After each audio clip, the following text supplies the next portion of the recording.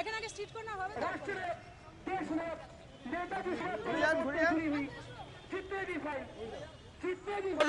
ফৌজের সৈন্যরা কর্নেল সৈকত মালিক আলী মালিকের নেতৃত্বে ভারতবর্ষে পতাকা উত্তোলন করেছিলেন।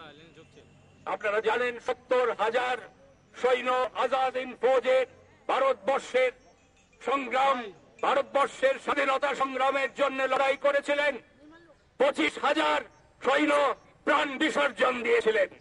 তারা একটি অখণ্ড ভারতবর্ষের জন্য লড়াই করেছিলেন।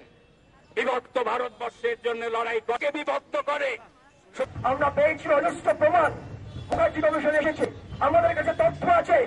অ্যানিটা ব্রিজেট এবং এমিলি সেঙ্কেল সম্পর্কে ভারত সরকারের কাছে কোনো তথ্য নেই। ফাইল ভারত সরকার প্রকাশ করতে চাইছে না। তাদের স্বার্থে কিসের স্বার্থে?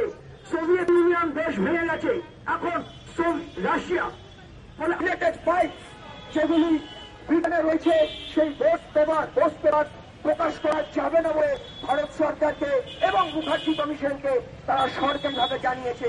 ভারত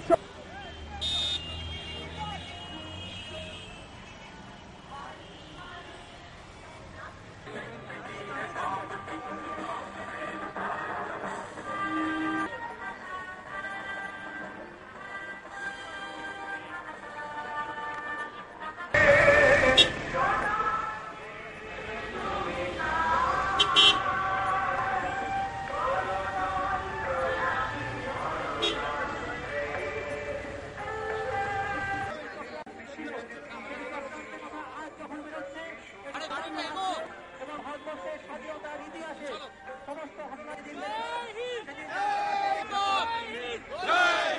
রাষ্ট্রনায়ক নেতাজি সুভাষচন্দ্র বসু জিন্দাবাদ।